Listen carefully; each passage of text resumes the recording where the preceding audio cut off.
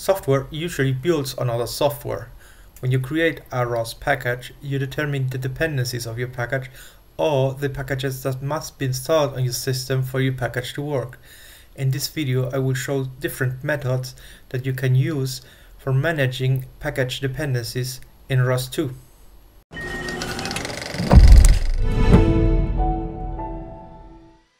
Hello, I'm Roberto from the Construct. I will be using the online platform from the Construct. Um, you can use it too for free. It's um, just go to theconstructsim.com and create an account. I will log in here and show you the uh, ROSject or project that I have prepared um, to show you practical examples. Um, how, how to how to manage dependencies for ROS packages. So I will need a ROS um, Amina web shell. Let me open it here so that I can better show you the examples. Okay, first thing um, is you can use ROSDEP. ROSDEP is a tool, ROS tool, uh, specially built for managing dependencies of ROS packages. So let me go to my ROS2 workspace and create a new package. Um, I already created here the the command so I can just paste it and we're creating a package which name is my underscore new underscore ros2 underscore numpy underscore package and it has dependencies RCLPY, uh, standard messages, geometry messages, and Python 3 dash num numpy.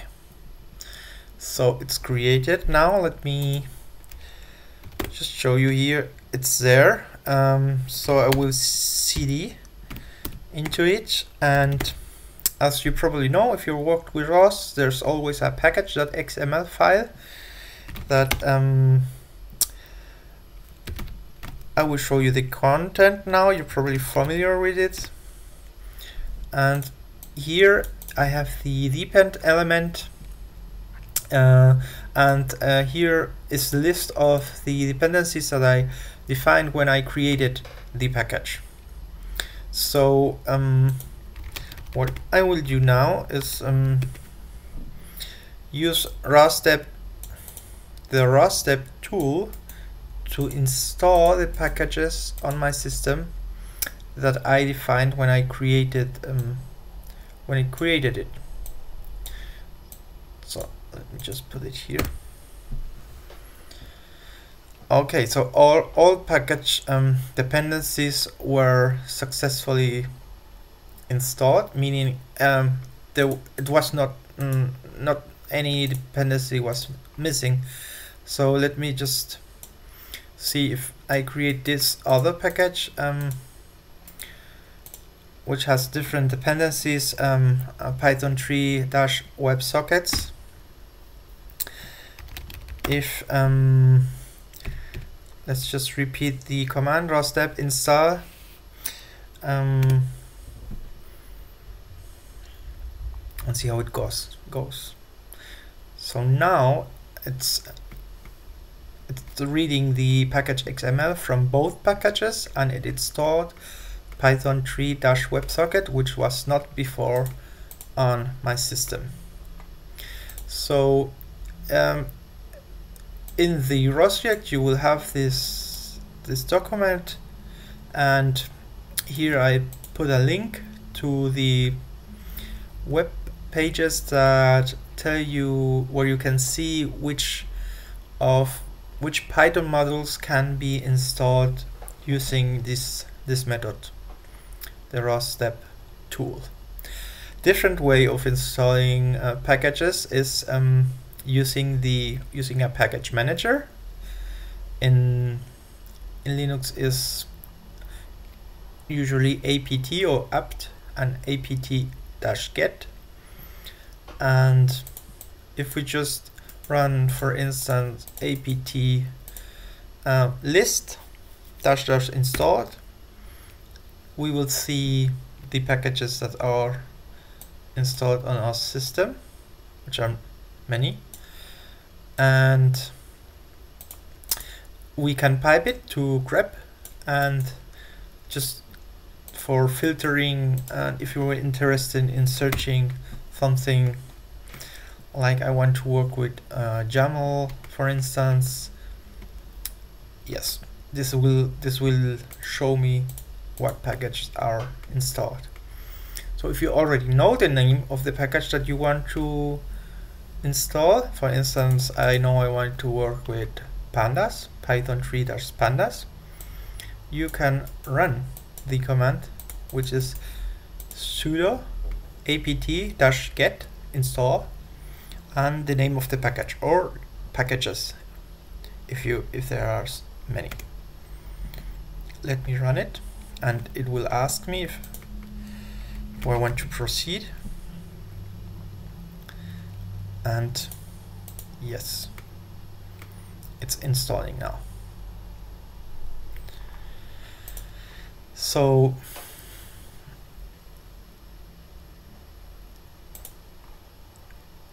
let me let me just uh, use apt list grep and uh, we will see if we if we can find it now.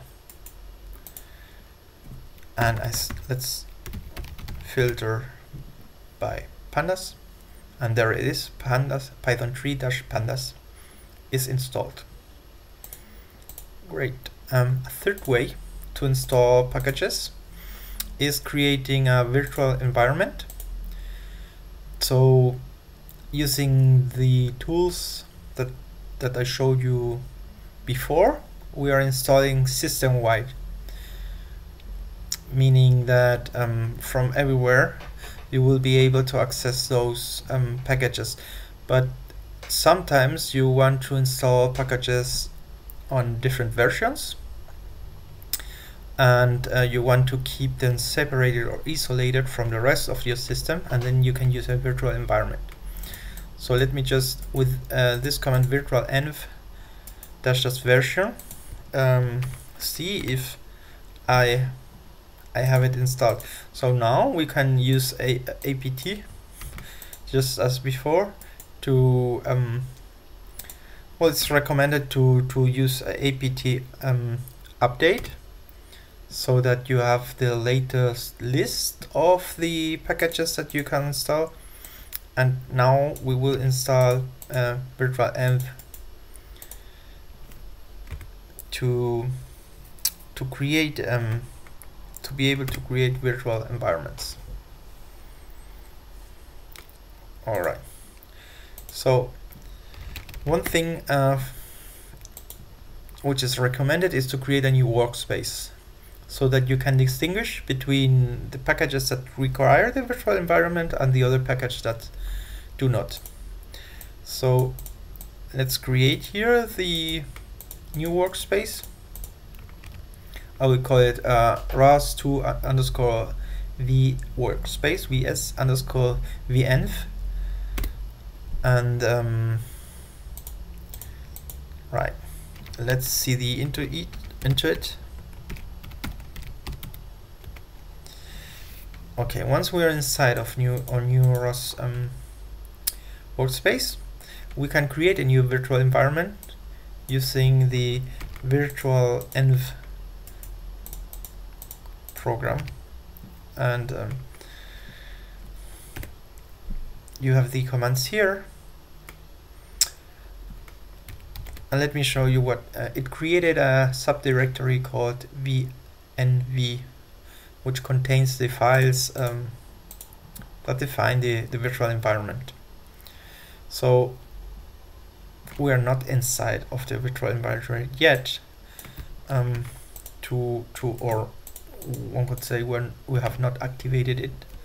So run this command the source command and um, source dot dash vnv dash bin dash activate and now you can see that our prompt here has changed.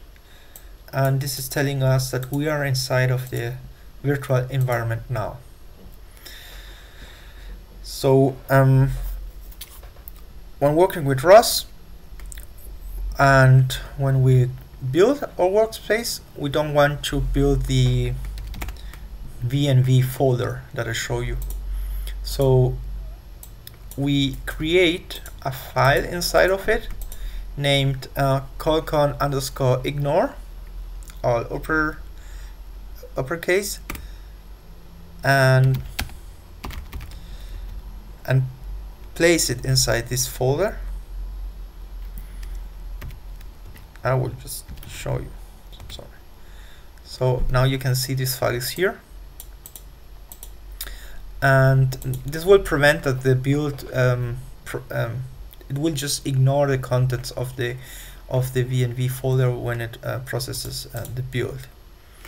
So now that this the um, virtual environment is active and that we place this file here to, to ignore um, the VNV folder, we can install install packages that we want to use only when the virtual environment is, is, is activated.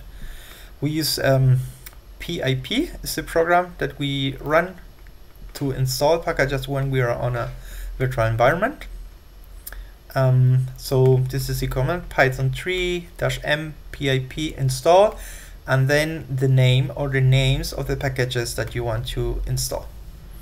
So this will take a while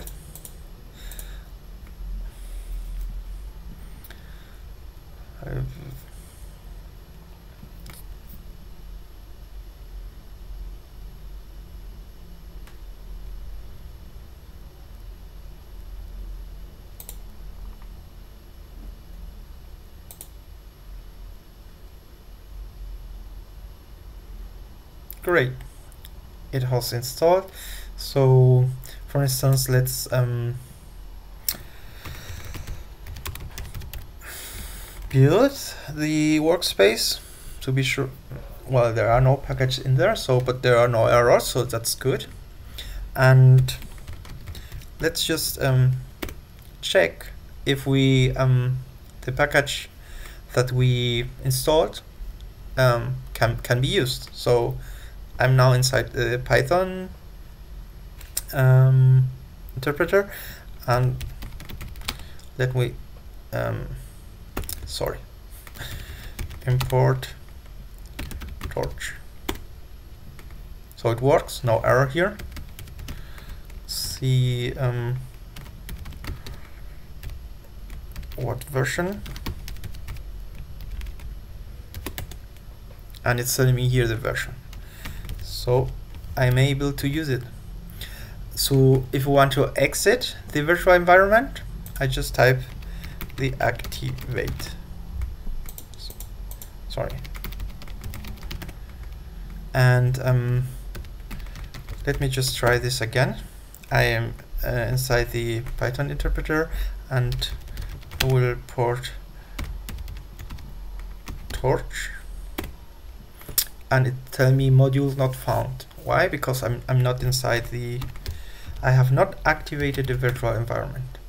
So each time you um, when you want to run a ROS node that uh, makes use of these um, uh, of these packages that are in your virtual environment you have to activate it first also each time you you open a new shell you have to run source um, to activate the virtual environment and this prompt will tell you that you're in inside of the virtual environment.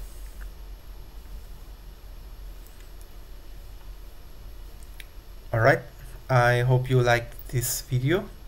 Let me put this away. Um, let me just show you some of the courses that our academy has. If you're interested in learning ROS, you could start with our ROS 2 Basics course. If you're interested in robot um, navigation, autonomous mobile robots, you do a, a course for robot navigation, or if you're interested in, in robot arms, you can do a course about robot manipulation. So check our course catalog as I said, the address is theconstructsim.com and I hope you liked the video. If you did, please give it a thumbs up or share it with friends. Um, see you in the next video. Bye.